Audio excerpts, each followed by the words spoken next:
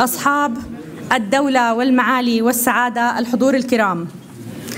نلتقي في هذه الليلة بمحاضرة تناقش واحد من أكثر الاهتمامات التي شغلت الأردنيين وعلى جميع المستويات. إنه التعليم أو مستقبل بلدنا وأبنائنا. في محاضرة اليوم سنلتقي بضيفنا لوري تومي خبير التعليم من فنلندا وهو البلد صاحب التجربة الاستثنائية في التعليم. فمنذ منتصف سبعينيات القرن الماضي وضعت فنلندا سياسات جديدة استهدفت من خلالها جميع أركان عملية التعليم من معلمين وطلبة ومناهج وبيئة مدرسية ما أدى إلى نهضة كبيرة وضعت البلد في أعلى هرم الدول من حيث جودة التعليم. ورغم أن السياسات والبرامج كانت شاملة لجميع أركان عملية التعليم إلا أن إعادة الاعتبار للمعلم الذي يعد عنصرا أساسيا في هذه العملية كان له أكبر الأثر في عملية التنمية تلك.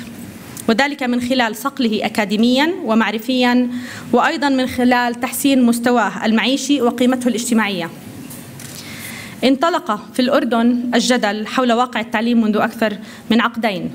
أشر كثيرون على مواضع خلل يمكن للراسم السياسات أن يضع علاجات لها. ورغم كثير من الخطط التي تم تنفيذها على مدار السنوات إلا أننا حتى اليوم لم نتمكن من أن نعاود الطريق صعودا في مسار التعليم. الحضور الكريم. إن مؤسسة عبد الحميد شومان التي تنظم هذه الفعالية هي مؤسسة تعنى بتطوير المجتمع ككل. ونحن نعلم أن الأساس لأي تطوير لا بد أن يستند إلى تعليم ذي جودة عالية. من أجل أن نلحق بركب الدول التي قطعت شوطا كبيرا في هذا المجال وعززت الجوانب البحثية والإبداع والابتكار لدى أفرادها. إن هذه الفعاليات تأتي في سياق محور كامل حول التعليم بدأت به مؤسسة شومان منذ أشهر عديدة وتنوي مواصلته في سبيل صنع فرق حقيقي في مستقبل بلدنا. الحضور الكريم الاطلاع على تجارب الآخرين ومحاولة فهم الخطوات التي ابتكروها والطرق التي ساروا عليها من الممكن أن يؤدي إلى تقصير طريق التجارب لدينا. مع التأكيد على أنه مهما استفدنا من تجارب الآخرين إلا أنه لا بد من بناء نموذجنا الخاص لتطوير التعليم في بلدنا. رحبوا معي بالدكتور لوري تومي ويدير الحوار الدكتور بشير شحادة. شكرا.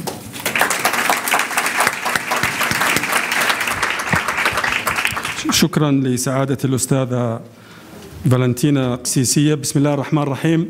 أصحاب الدولة والمعالي والسعادة والعطوفة السيدات والسادة السلام عليكم ورحمة الله وبركاته وأسعد الله مساءكم بكل خير. واهلا وسهلا بكم اليوم في ضمن فعاليات منتدى شومان الثقافي ومحاضره تحت عنوان تجربة التعليم في فنلندا الصعود إلى القمة. للبروفيسور لاوري تومي. لا لا أحد يشك اليوم أن فنلندا تحتل مركز الصدارة في مجال التعليم حسب نظام التقييم الدولي بعد أن تمكنت من تحقيق نتائج باهرة جعلت العالم المتقدم يقف مذهولا أمام إنجازاتها التربوية والتعليمية وتجربتها الفريدة من نوعها والتي أصبحت نموذجا عالميا في تبني نظام الجودة في التعليم فما هو سر نجاح هذه التجربة؟ وكيف تحققت معجزة التعليم في كوكب فنلندا؟ ومن سيحدثنا عن هذا هو البروفيسور لوري تومي وهو أستاذ في الاقتصاد وإدارة الأعمال. تولى منصب في الوكالة الوطنية الفنلندية للتعليم في عام 2007 17 لوري رائدا في تطوير التعليم الفنلندي من خلال تقلده منصب الرئيس التنفيذي لشركته الخاصة ونائب رئيس جامعة هاغا هيليا للعلوم التطبيقية. تم تكليفه من قبل وزارة التعليم والثقافة الفنلندية بداية 2017 بقيادة مشروع تطوير نموذج التشغيل لبرنامج التعليم الفنلندي. لوري خبير في الإدارة التعليمية والإدارة الاستراتيجية والكفاءة بالإضافة إلى إدارة الابتكار. هو حاصل على درجة الدكتوراه في الإدارة الاستراتيجية من جامعة فاسا فنلندا. قام بقيادة وإدارة العديد من العمليات الاستراتيجية في كل من القطاعين العام والخاص. وهو مؤلف للعديد من كتب من الكتب والبحوث العلمية المنشورة. وقد تمت دعوته كمتحدث رئيس في العديد من المؤتمرات الدولية في مواضيع عدة مثل التعليم الفنلندي والتعليم العالي والإدارة الاستراتيجية والابتكار التعليمي وأترك الحديث الآن للبروفيسور لاوري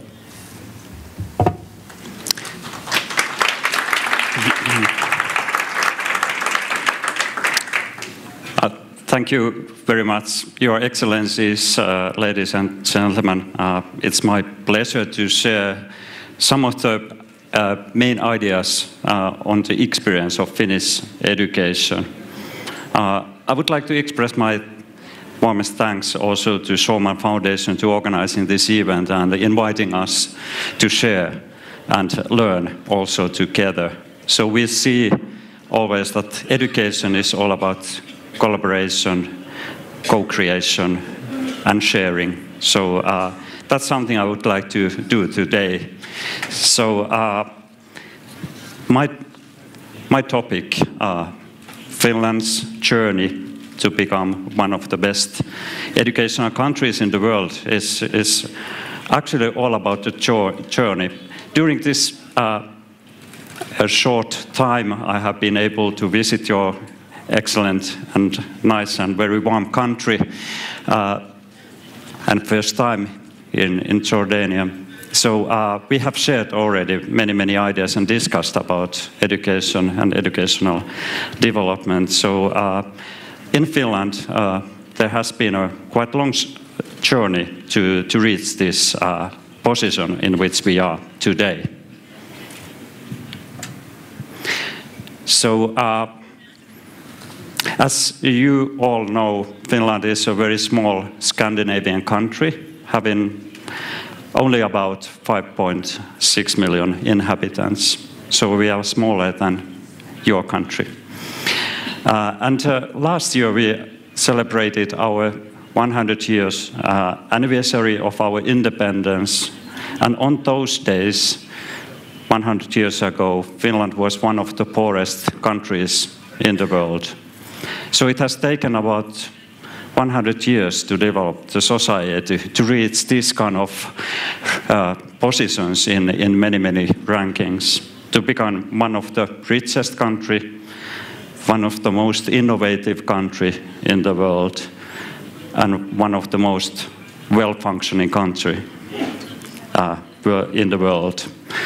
So uh, that uh, development would not have happened without understanding that education and education and educate all of the citizens is the key to the success of the society. And uh, as I said, the journey has been quite long. Uh, and also, uh, we see that uh, the continuous development of education system is the key for the success, not only on education but also on, on societal level. Uh, Finnish elementary school system uh, dates back to the year 866 when the Basic Education Act was launched and elementary school became voluntary to all of the citizens that on those days that clever decision has led actually to the situation which we see today that teachers profession is one of the main respected uh, professions uh, in, in Finland. Teachers keep, became very important uh, in the villages and in the towns wherever the school was set up.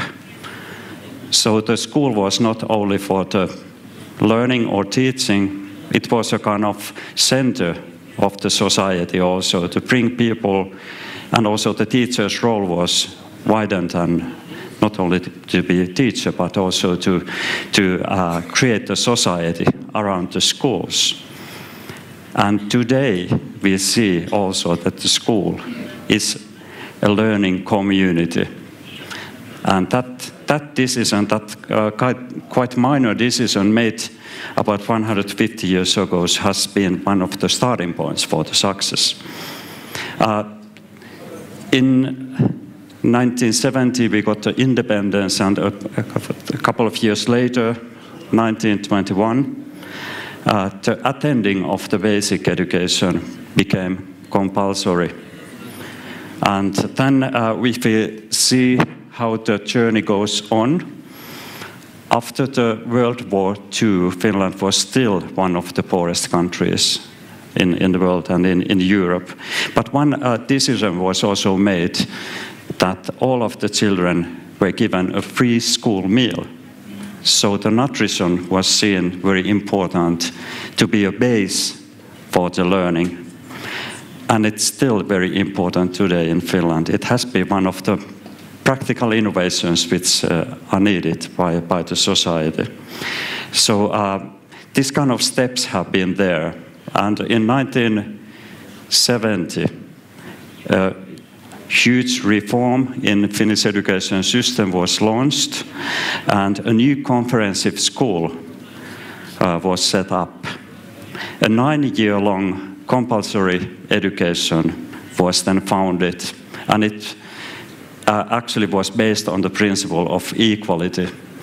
Before that, uh, the children were actually uh, divided into two sections to uh, those who uh, were able to take the academic route and to those who were then guided to the uh, vocational professions.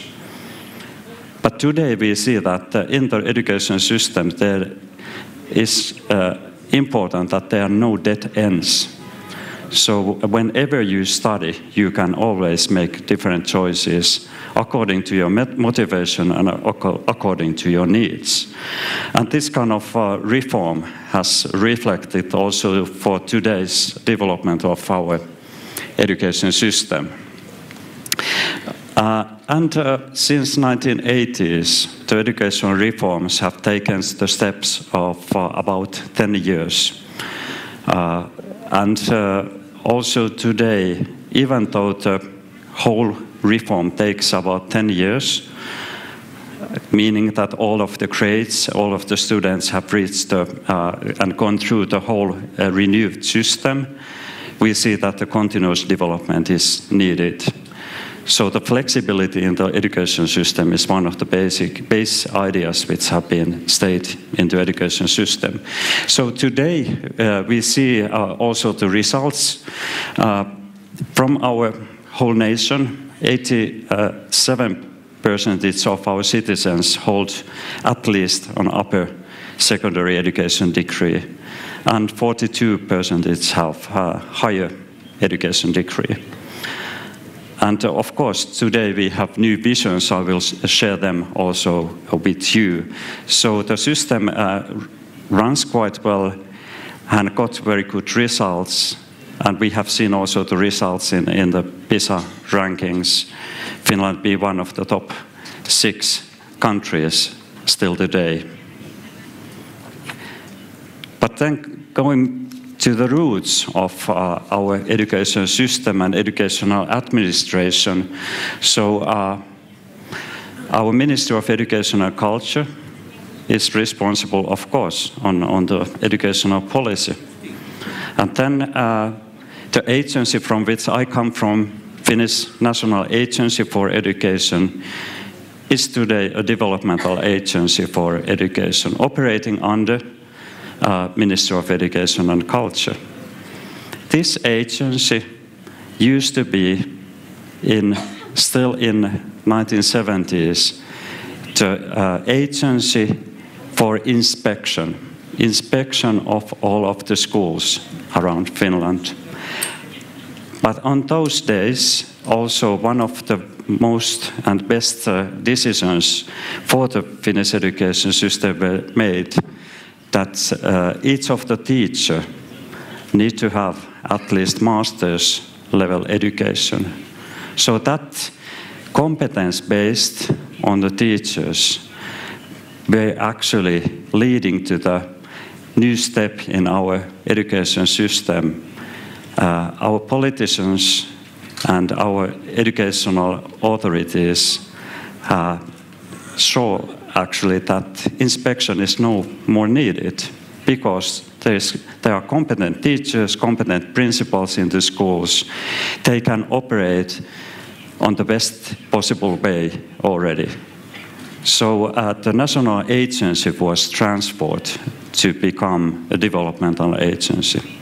An agency which is responsible on the educational reforms, it's responsible to provide guidelines and support also for the teachers and, and principals in Finland, but wide autonomy on local level was then set up. So the cities and municipalities have their autonomy uh, on, the, on the decisions how the education is set up in, in their region.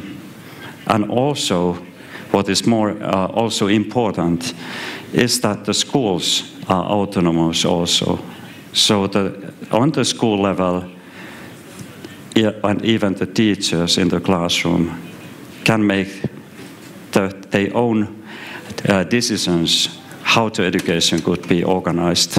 And as we today discuss more like educational design, how the educational uh, environment and how the educational subjects and the learning process will be produced. And uh, today, uh, our new vision for education is that everyone can grow to his or her own potential.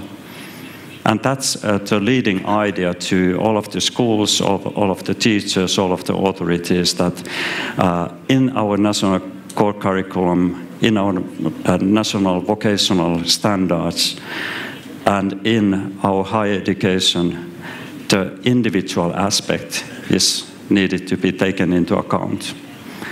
So uh, then uh, this vision has uh, created the base to the next uh, further steps in our educational systems and reforms. I will come back to those a bit uh, later in my presentation. Uh, but to continue about uh, some basic ideas or principles in, uh, of learning in Finland, uh, I would like to share the conception of learning with you next. There are five kind of guiding principles for our education system, which are also guidelines for teachers in the classroom. So we see that uh, the student or children will have an active role in, in the learning process. So it's not more and not anymore a kind of top-down process that the teacher in, in the front of classroom is telling uh, the students who are sitting. So uh, this setting is uh, something which is uh, not the idea, but the idea is to have an active role of the learners. But also learning is also thinking, so I, I think that you are, can grasp the idea also here today, to share the ideas, to think about and, and discuss and have dialogue on, on these issues we discussed today. So learning takes place through interaction, and that's something in which we believe a lot. So the interaction between, not only between uh, the teachers and students, but also the students together the teachers together and also the wider community together. So they need to be kind of uh, interaction and a lot of interaction in the learning process. But to come also uh, to the fact that Finland has also been ranked as, as one of the most happy and even happiest country in the world. So we also highlight in education that the joy of learning is important. The joy is needed in order to be creative, in order to be innovative, and in order to learn. So uh, that's also something in which we also uh, today are creating more and more support also for the schools and teachers to uh, also keep uh, on on understanding and using the idea of joy of learning. So positive emotional experiences are important.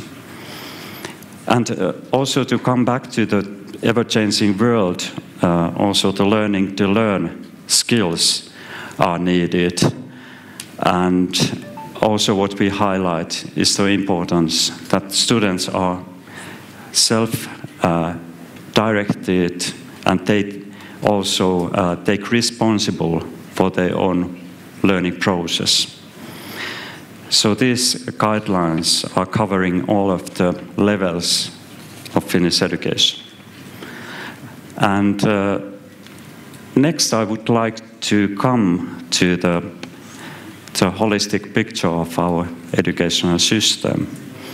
The system with emphasis today is on lifelong learning. And if you look at uh, on, on the system and this slide, you can see that there are no dead ends. So whatever path you choose uh, during your studies, you can always also make changes. So that, that has been one of the bases. Uh, and also there, uh, thinking about the system, we are today quite happy uh, on the system which have been now uh, created in a way that is on a continuous developmental process. So all of the levels have been under reform during the past few years. One of the latest ones was the new national curriculum for basic education, and today it's fully implemented. And as I said, it's fully implemented. It means also that uh, it can be adjusted on annual basis. Some adjustments are able to be made. Uh, the latest one in our education system is the new reform on pre-primary education and early childhood education. We see that the earliest years of the child actually creates the base for the future success and, and also the opportunities to learn and to learn uh, to learning to learn skills. Uh, the newest uh, curriculum is actually the first uh, comprehensive uh, curriculum for early childhood education in Finland. And it's based on, on, the idea of the individuality. So each of the child need to have a plan for the individual growth. And this new curriculum and this new reform has also changed uh, the law uh, on uh, what is uh, the teacher's competence level needed in the sector. So all teachers working on uh, in the early childhood education and pre-primary education will have in the future also master's level education. In our education system, we have only one national test. Uh, it's actually up after general upper secondary education, which uh, is a path to the higher education studies. Matriculation examination is uh, one of the link between the higher education studies and our new reform will actually raise the importance of this uh, examination uh, as a kind of flexible leading path to the higher, highest education after the studies. The reform also consists of the idea that the higher education institutes uh, also need to uh, collaborate more with with these institutes providing this upper secondary education. So the universities and universities of applied sciences are able to provide courses also on this level in order for the students to uh, also to have uh, insight into studies to which they most likely will then go later on. And then uh, we have vocational education and training, which has also gone through a reform. In Finland, uh, the adult vocational education and training and uh, the training for youngsters are today integrated. They used to be separate, uh, separately stated in our system. And this means that uh, to become a professional in, in the working life is not dependent on the age So uh, the idea is that the continuous learning and lifelong learning opportunities can be provided in, uh, for all uh, who are willing and motivated to, to become professionals in the working life. In Finland, one of the visions have been also that we need in our society very good professionals in the working life uh, and experts on their own professions. And not all of the students need to go to the traditional academic path. And uh, this vision is almost reached. It used to be in 20 years ago so that more, more and more students were going to the traditional path, and working life was uh, actually in the trouble finding the best professionals to work in the working places and in industry. But this change has now happened, and the image of vocational education training is, is very high today. And it has also been and one of the secrets in behind has been to uh, focus on teachers' competencies. So also for the teachers uh, teaching in vocational education and training need to have master's degree and also specific training. If they come directly from the working life, they will provide a specific pedagogical training to become teachers in this sector. So this uh, balance is almost reached, but we still have something to do because the division of uh, youngsters is uh, today so that uh, uh, six, 58% uh, it's go to the general upper secondary path and 42 go to vocational education. But the aim is to get this, the balance. and also if you see the highest uh, level of education. In 20 years ago, as the, uh, as the vocational education uh, and training was uh, newly set up, also uh, universities of applied sciences were set up in our highest educational system in order to provide to also the experts and professionals operating in, in the working life and to have also uh, professionals who may reach the bachelor's and master's, master's level uh, through uh, the working experience. So the masters uh, studying at the universities of applied sciences need to have at least three years working experience in order to get into the uh, master's programs. So this is a separate part, and it has been one of the uh, success stories in Finnish education system uh, to provide uh, opportunities for lifelong learning and opportunities to all of the citizens to find the right path and to, to ability to grow to the best pot potential as was stated in our vision. Uh, finally, I would like to, in, in, this part, I would like to also raise the idea of uh, liberal adult education, it's here stated that uh, also learning, learning for fun, learning new habits, learning new issues, uh, and not uh, always the certificates or degrees are needed. So in Finland, there's a long tradition for adults to to, to learn in the, in the specific liberal adult education institutes, and that's uh, one of the fields here also to support the kind of learning activities of our citizens. And of course, open university and open uh, summer schools are one part of this sector. So uh, the system uh, uh is now functioning quite uh, well but it's also under continuous development. The latest and the next reform will be uh, made on the higher education.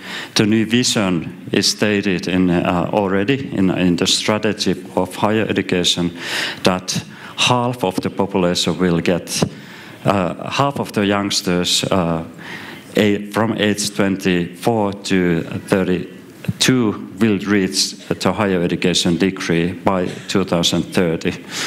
And uh, this means also that the research and, and the academic uh, field will be uh, also looked uh, to be more individually uh, uh, concentrated education and also the highest level of research will be in, in the, in the focus.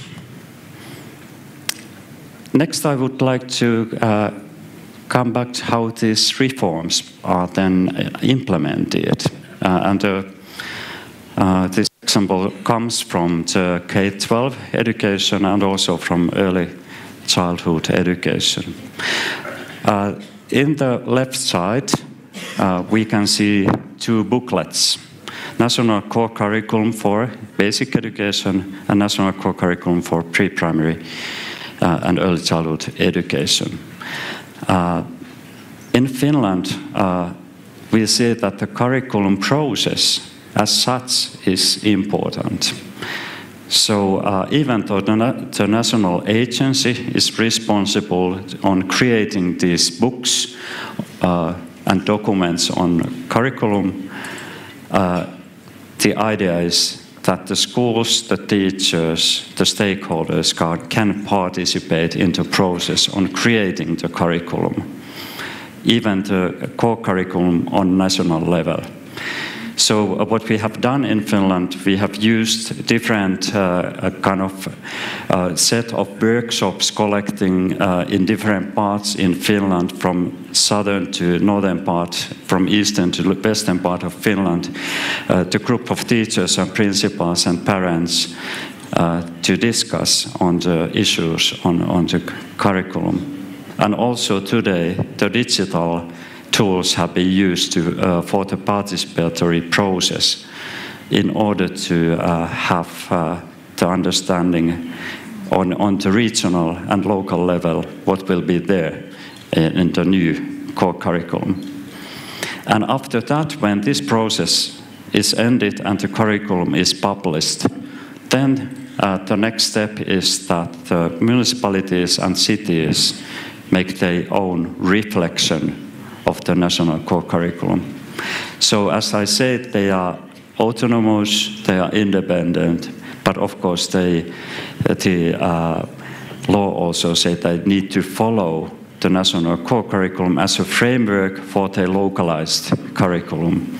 And then this process continues on the school level, and the schools are able to create their own curriculum and plans and annual plans for their activities. And in this process, this uh, actually ensures that everyone is also able to participate in the process. And then, of course, the implementation becomes easier. When you already have been able to participate in the process, then you also most likely will be committed to, to implement and use this new curriculum.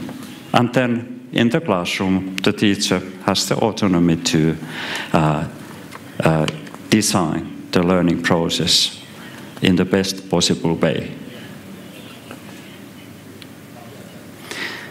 Uh, one of the highlights, so to say, in our newest national core curriculum has been this framework of so-called 21st century skills meaning we call them also transversal competencies.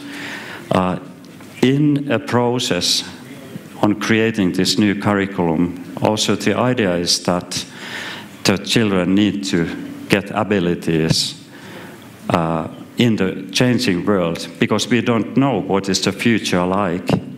Then we can provide just competencies on which everyone can uh, can be successful in the changing world. So uh, these seven uh, topics are the following. Taking care of oneself and managing daily life. That's one of the competencies. Then cultural competence, interaction and expression. In the global world, we need that this is very essential. Multiliterature meaning uh, the to use uh, different medias and understand the content. And also uh, today we have seen that uh, understanding content is become more and more important because we know that uh, in the world, the world is full of data, full of uh, facts and quasi-facts. So then it's important also that the children have competencies to also find what is the real knowledge and real uh, uh, information for their use. Then, of course, we have discussed also during this visit a lot of about digitalization. So, ICT competence means not only to handle some programs or uh, laptops or technology, but also to understand the change of the technology, to be able to use the newest technology. Then we come to the next one working life competence and entrepreneurship.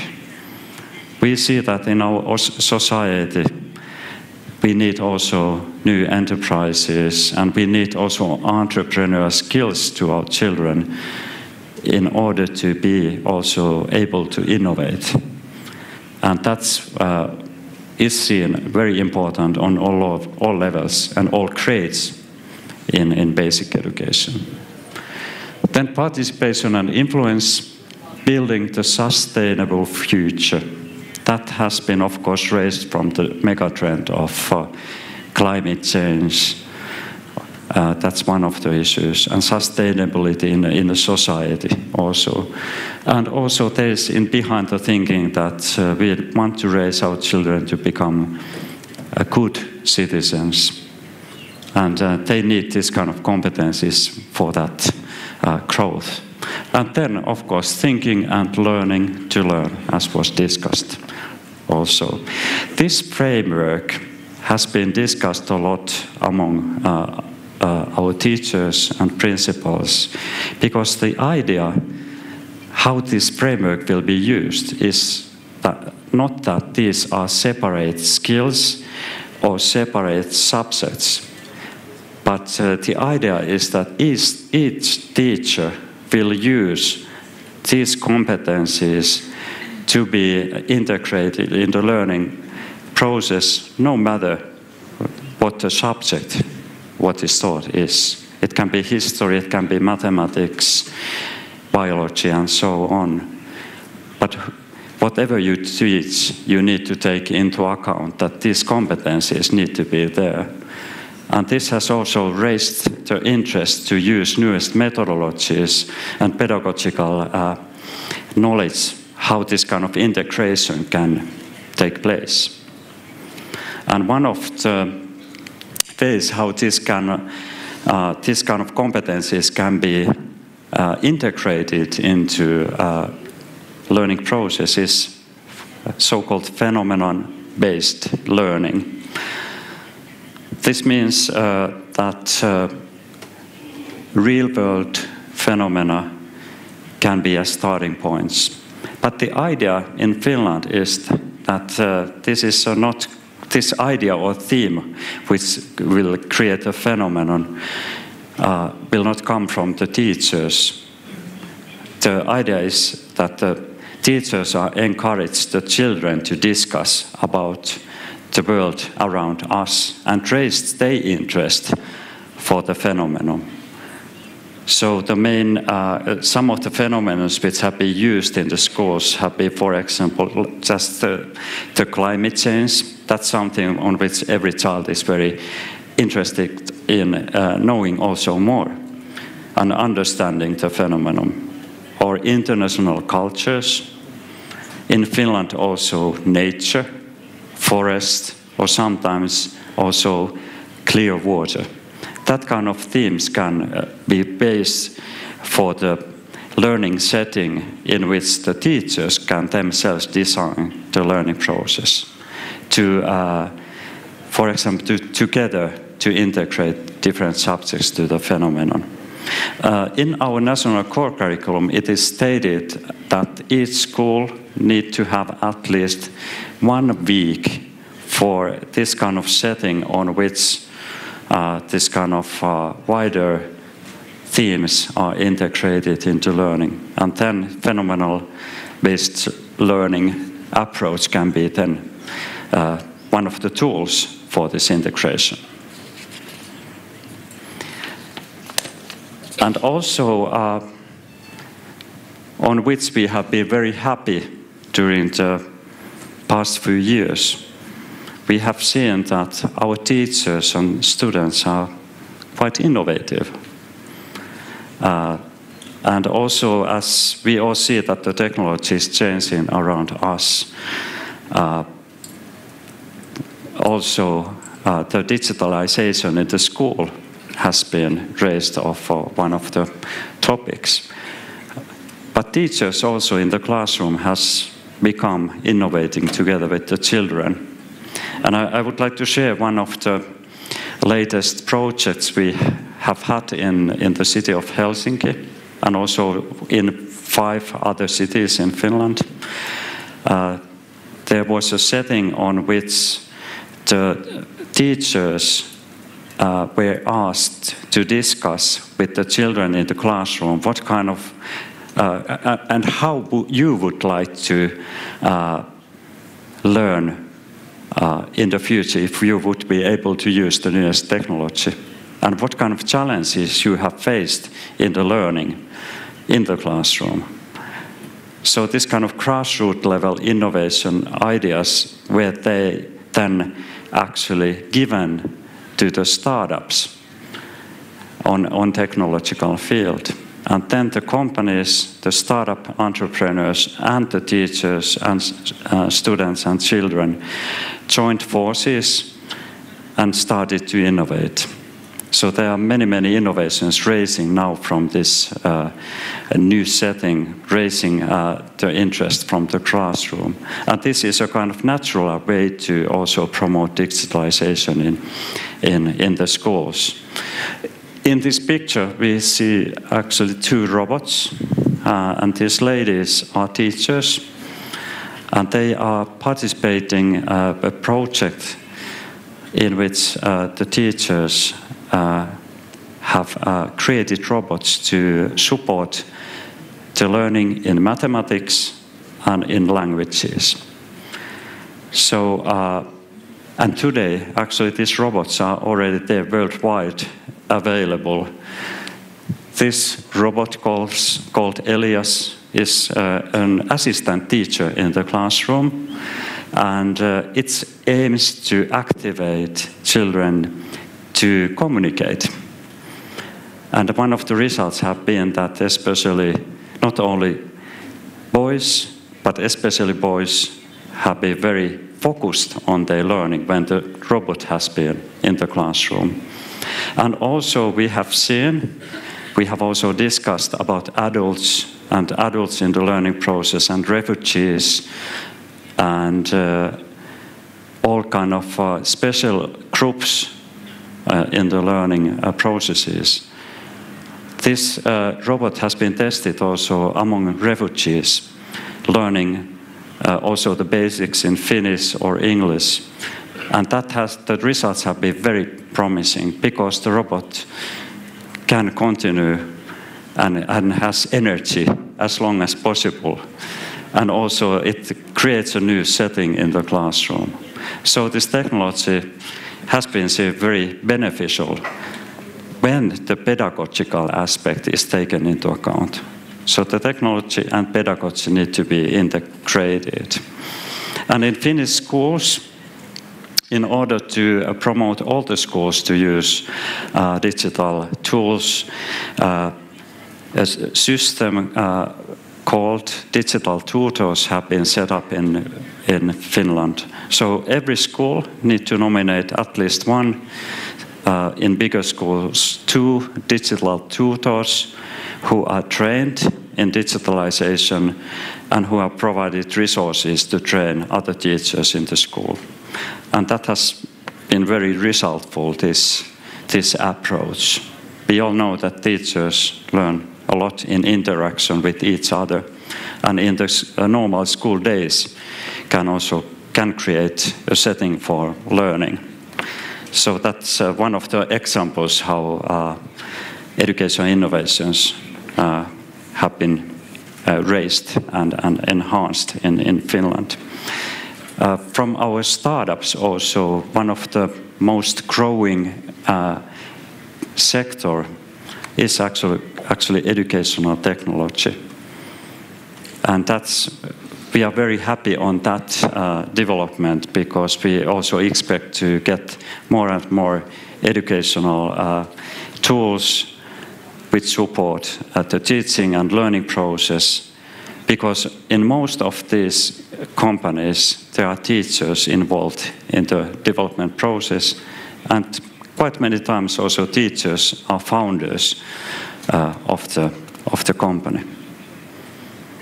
Finally, uh, in, in my presentation, uh, I would like to come more deeply to this topic of innovative and competent teachers. So uh, some aspects of Finnish teachers uh, and uh, it has been also asked during our, our visit how this teachers' education is, is set up. So there was this decision that all of the teachers are trained in universities and universities of applied sciences, and they will all have master's degree on all sectors of education.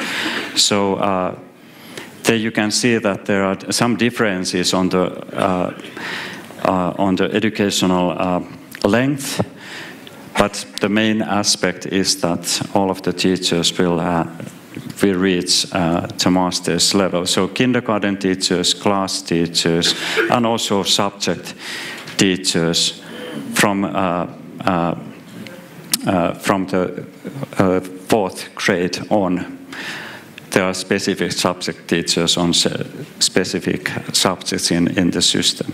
And also, as discussed, teachers in vocational studies, and also not to forget also the principals. The educational management and the competent principals is, is uh, the only, only way to create sustainable uh, development uh, in the school level and the school, the success of the school is dependent on the, both on competent teachers and competent principals. And teachers feel valued also in, in Finland. As I started by saying that teachers have been the, one of the most important persons in, in, uh, in the villages or in the areas where the uh, schools have been set up there's still this uh, approach that teachers' profession is very valued. 90% of the teachers are satisfied with their job. This is an OECD study. 70% is would choose teaching again, uh, and 60% think uh, that their work is valued in the society. So of course, this means that we need to keep very much focus on this aspect to, to have every teacher to uh, to understand the importance, and, and that's of course always a question of the good uh, leadership and management the, on the school level, and also from the governmental support for the schools uh, in, in this respect. And to come to the uh, two final part of my presentation, so some of uh, the secrets uh, of Finnish success, I would like to conclude on, on uh, some of the topics just to uh, share the ideas and continue the discussion. So the lifelong learning aspect, which was now set up in the system, and taking everyone uh, from uh, from the earliest years to the senior years uh, of the citizens to the learning uh, and provide learning opportunities to all is one, one of the aspects. Teachers' competencies, management, competent management, and then uh, the idea that uh, there must be trust on, on the, all of the levels. Otherwise, this autonomy uh, aspect would not have been able to be given to the municipal level and the school level unless uh, on the authorities and the agency level and politicians, uh, if they don't trust that the best can be done on, on this uh, local setting. Then the joy of learning and uh, the innovativeness is certainly needed. Uh, today, uh, we have also discussed many, many, in many, many ways how we could collaborate and find ways to uh, uh also uh, learn from each other. I started by saying that education is all about co-creation and collaboration. So today, for example, the six best PISA countries Finland, one, one of them, are collected by OECD to share the best practices in education system in order to uh, also to uh, find new solutions for the world crisis in learning. It is truly said that there is a crisis in learning in the world. Almost every children in, uh, all around in globally can go to school but what is the result and what happens in the school is the question. So we, we have seen that there's many, many ways uh, and many, many topics to be discussed and shared. And we have also many, many uh, uh, innovations which are also available to be shared so that it's not only copying, then it's not copying something from Finland to other country, but it's more like co-creating something new together and find best solutions together. So uh, in Finland, we have been uh, supporting uh, quite many countries on educational reforms, kindergartens and schools uh, and teachers and uh, we have happy to receive many, many visitors to Finland to, to see our schools and meet, meet our teachers. And our schools have been encouraged also to open the doors for the visitors to, to come and, and also to share and to learn. And also to, uh, I would say that there is a borderless uh, kind of opportunities on, on educational innovations. And that's something on which truly international collaboration is more than uh, wanted. And that's, uh, that's something on which we would like to also share the, the ideas. And of course, education is all about quality. The high quality education is something on which also quality assurance is needed. And that's, of course, a topic uh, on, in, in Finland also today. So these are some of the examples on, on how uh, we uh, today operate also globally. I would like to uh, finalize in, in, some of the words uh, by saying uh, that uh, every country actually needs to create their own success story and understand the past, but more and more understanding that we can create something together for the future. So, uh, in this sense, uh, again, it's all about co creation, all about collaboration, it's all about uh, uh sharing the ideas and uh, creating better world together because we really, truly uh, believe in, in that, that education is the way to change the world better.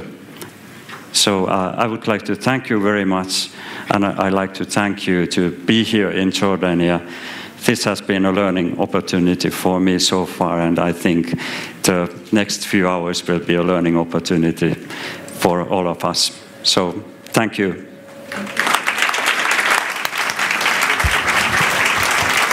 شكرا take the speaking Arabic. Uh, شكرا بروفيسور لاوري